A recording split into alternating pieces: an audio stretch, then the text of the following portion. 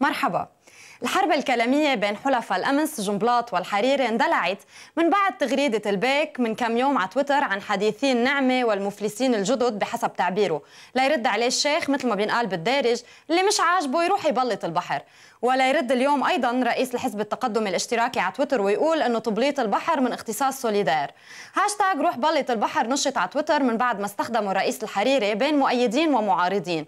مين رح يبلط البحر؟ الحريري أم جنبلاط بحسب يونس عبد الله وهالتويت لفارس حلبي مبلطينه سوا. نشر حساب غرفة التحكم المروري على تويتر فيديو لباص طلع على بال سايقه إنه يقطع الأوتوستراد من ميل لميل بالعرض كرمال يطلع ركاب.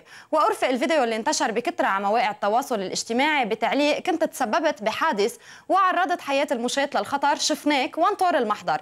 أما حساب قوى الأمن على تويتر أعلن إنه تم حجز الباص المخالف من قبل مفرزة سير الضاحية.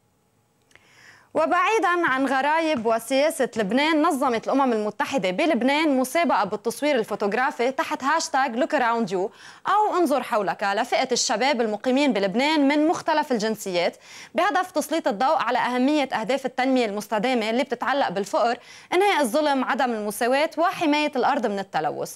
الفايز بالمرتبة الأولى هشام جلول عن صورة لطفل سوري عم يبتسم بمخيم للاجئين رغم كل الظروف وهي تحت خانة الحد من الفقر.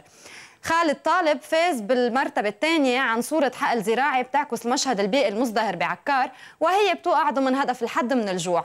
أما المرتبة الثالثة فكانت من نصيب حسان جردلي اللي صور صورة بالأبيض وأسود لمشروع متعلق بالطاقة الشمسية بأحد شوارع صيدا القديمة على الواجهة البحرية.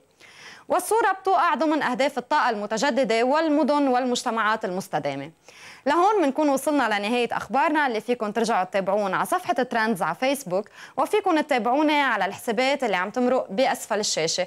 أخبار جداد من مواقع التواصل الاجتماعي. بنشرة بكرة.